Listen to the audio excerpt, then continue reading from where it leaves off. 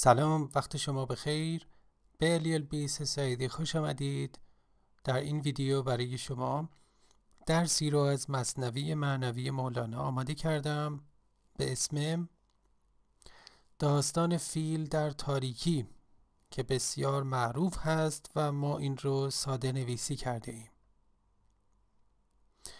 که می‌تونه برای آموزش زبان فارسی به غیر فارسی زبانان زبانان به ویژه بزرگسالان مفید باشه. متن داستان فیل در تاریکی.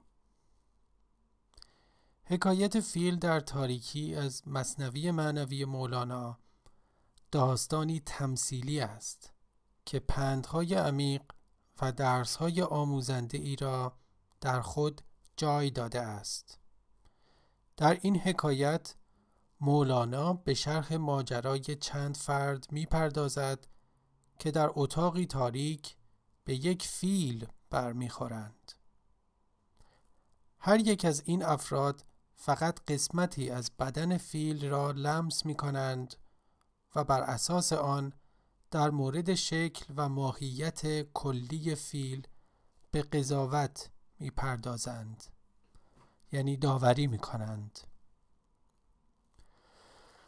در روزگاران دور در کشور هندوستان یک فیل بزرگ را در اتاقی کاملا تاریک قرار دادند و از مردم خواستند تا بدون استفاده از چشمان خود و تنها با استفاده از حس لامسه حدس بزنند که آن فیل در اتاق تاریک چه چیزی است. در این اتاق کاملا تاریک مردم مانند انسانهای نابینا بودند که نمی توانستند با چشمان خود ببینند. پیل اندر خانه تاریک بود. عرضه را آورده بودندش هنود از برای دیدنش مردم بسی اندران ظلمت همی شد هر کسی. دیدنش با چشم چون ممکن نبود اندر آن تاریکیش کف می بسود. نفر اول به خرطوم فیل دست زد و پیش خود فکر کرد که این باید یک ناودان بزرگ باشد. ناودان دوره بزرگی است که آب برف و باران را از پشت بام به زمین میرساند. آن یکی را کف به خرطوم افتاد گفت همچون ناودان است این نهاد. نفر دوم در تاریکی اتاق گوشهای فیل را لمس کرد و با خود گفت و با خود پنداشت یعنی فکر کرد که اینها باید یک جفت باد بزن خیلی بزرگ باشند که برای خنک کردن در گرما از آنها استفاده می شود. آن یکی را دست بر گوشش رسید. آن بر او چون باد بیزن شد پدید. نفر سوم در تاریکی اتاق پاهای بزرگ فیل را لمس کرد. و با اطمینان با دو نفر قبل مخالفت کرد و گفت اینها نه ناودان هستند و نه باد بزن بلکه فقط چند ستون خیلی بزرگ و محکم هستند. آن یکی را کف چو بر پایش بسود گفت شکل پیل دیدم چون عمود. نفر چهارم که پشت فیل را لمس کرده بود با سه نفر پیش مخالفت کرد و گفت این فقط یک تخت خیلی بزرگ است و نه چیز دیگر. من می توانم این را به شما ثابت کنم.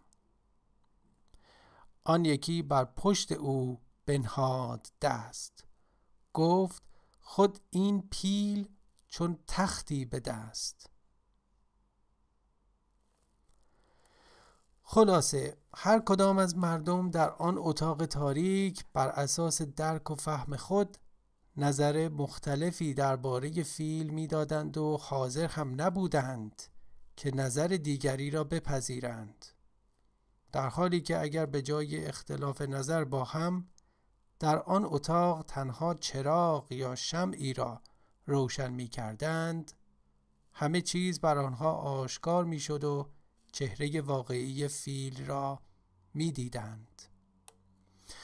همونطور که در این عکس می بینید این عدد که افتاده هم می‌تونه 9 باشه و هم می‌تونه 6 حالا باید ببینیم که از چه دریچه ای به آن نگاه می‌کنیم و ادراک ما به چه شکل است در اصل تاریکی موجود در آن اتاق باعث شده بود که مردمی که در آن اتاق بودند از درک واقعیت فاصله بگیرند و با هم اختلاف نظر داشته باشند. جالب است که هر کس هم فکر می کرد که نظر و باور او درست است و دیگران در اشتباه هستند. از نظرگه گفتشان شد مختلف. آن یکی دالش لقب داد این الف.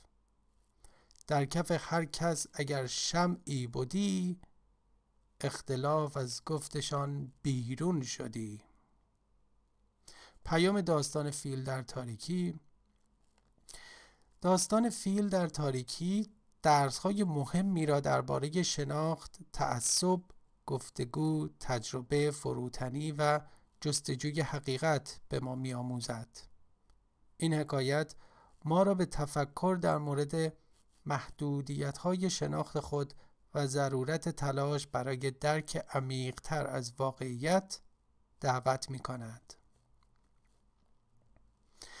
داستان فیل در تاریکی می‌خواهد به ما بیاموزد که درک ما از جهان هستی محدود است و ما باید این نکته را بپذیریم. در غیر این صورت سطحی نگری و درک محدود و ناقص ما گمراه کننده و خطرناک خواهد بود.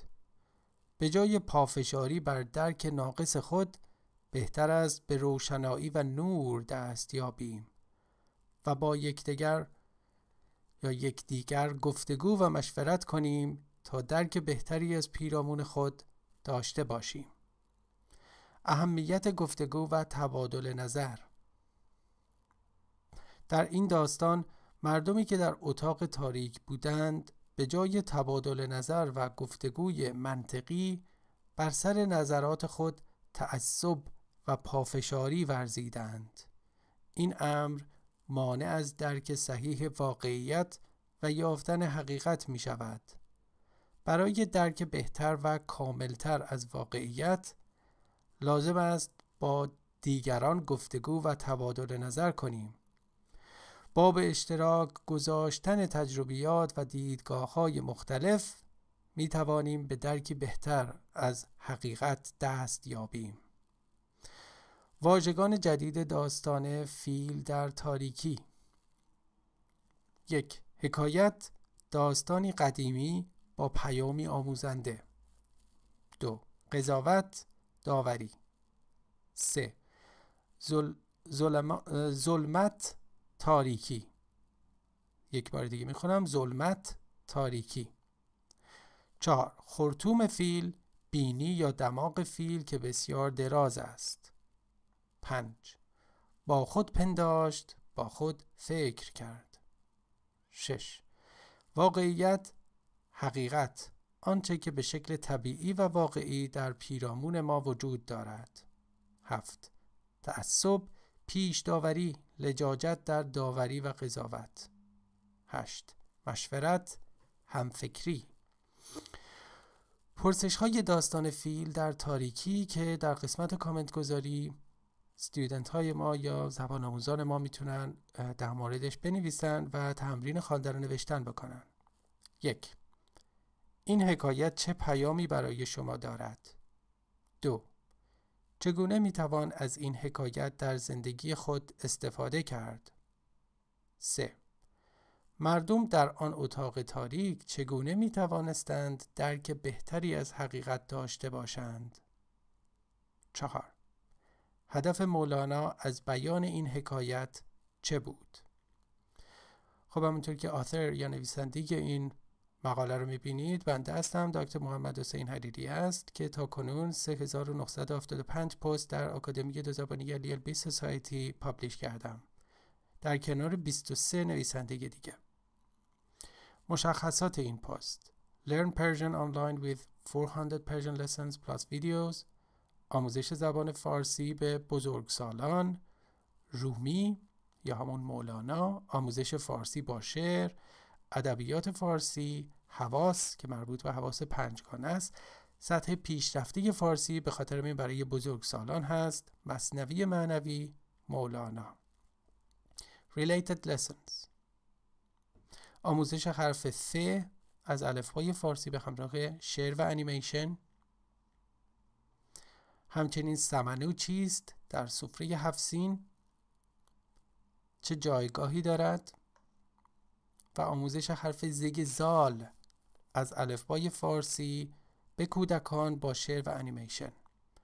در این قسمت هم می‌تونید کامنتتون رو ارائه بدید و اگر اشتباهی در زمینه نوشتن فارسی و استفاده از واژگان فارسی زبانان ما انجام بدن ما کرکت می‌کنیم. یعنی اونا رو اصلاح می‌کنیم که به این شکل می‌تونید خوندن و نوشتن رو تمرین کنید. بسیار سپاسگزار از توجه شما و شب و روزتون خوش.